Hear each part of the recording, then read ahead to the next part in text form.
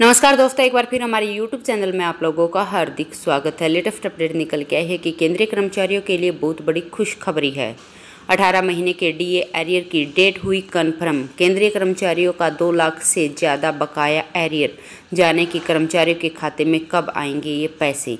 तो दोस्तों, हम आपको सब डिटेल में बताएँगे। अगर आप हमारे चैनल पर फ़र्स्ट टाइम विज़िट कर रहे हैं तो चैनल को लाइक कर दीजिए, सब्सक्राइब कर दीजिए, साथ ही साथ वेल आइकन को भी बजा दीजिए, ताकि गवर्नमेंट या पेंशन से संबंधित जितनी भी न्यूज़ आती है, उनकी नोटिफिकेशन आप लोगों के पास तुरंत पहुँच के। तो करते हैं वीडियो को स्टार्ट बिना किसी देरी के। दोस्तों, केंद्रीय कर्मचारी का महँगाई भत्ता सितंबर में बढ़ चुका है। उम्मीद यही की जा रही कि उनके पिछले काफ़ी लंबे से अटके डीए एरियर का बकाया भी मिल सके। इसको लेकर पेंशनर और कर्मचारी धरना देने का ऐलान भी कर रहे हैं। दोस्तों, केंद्रीय कर्मचारी के महँगाई भत्ते के अटके एरियर को लेकर काफ़ी हलचल है। कर्मचारियों को जनवरी 2020 से जून 2021 तक बीच में महँगाई भत्ते का एरियर नहीं मिला है। 18 महीने का बकाया अभी है। डीए का ऐलान होने के बाद से ही केंद्रीय कर्मचारी की यूनियन लगातार एरियर की डिमांड कर रही है। पेंशनर ने भी अपने डीआर एरियर को लेकर पीएम मोदी से अपील की है, लेकिन कोई भी हल नहीं निकला है।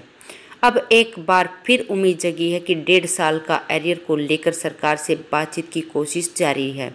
यूनियन का मानना है कि सरकार एक नेगोशिएटिव सेटलमेंट करनी चाहिए।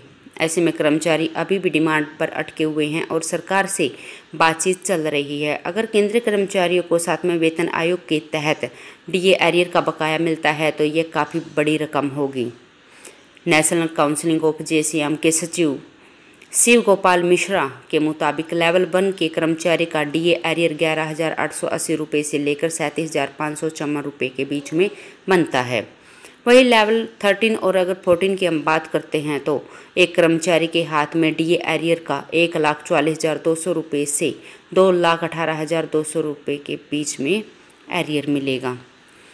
दोस्तों, केंद्रीय कर्मचारी जिनका न्यूनतम ग्रेड पे अठारह हज़ार रुपये है, उनको चार हज़ार तीन सौ बीस रुपये का इंतज़ार है।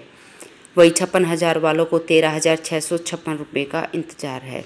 सातवें वेतन आयोग के तहत मिनिमम ग्रेड पे पर केंद्रीय कर्मचारियों का जुलाई से दिसंबर 2020 तक डीए एरियर तीन हज़ार दो सौ चालीस रुपये मिलेगा। वही छप्पन हज़ार नौ सौ वालों को दस हज़ार दो सौ बयालीस रुपये मिलेगा। वही जनवरी से जुलाई 2021 के बीच डीए एरियर की अगर गणना करें तो चार हज़ार तीन सौ बीस है और वही छप्पन हज़ार नौ सौ पर अगर गणना करें तो तेरह हज़ार छः सौ छप्पन रुपये हैं। दोस्तों मतलब अगर केंद्रीय कर्मचारियों के पे मैट्रिक्स के हिसाब से न्यूनतम वेतन अठारह हज़ार रुपये है तो उसे डी एरियर के रूप में ग्यारह हज़ार आठ सौ अस्सी रुपये मिलेंगे। तो दोस्तों, आज के लिए इतना ही, मिलते हैं नेक्स्ट वीडियो में, तब तक के लिए जय हिंद, जय भारत।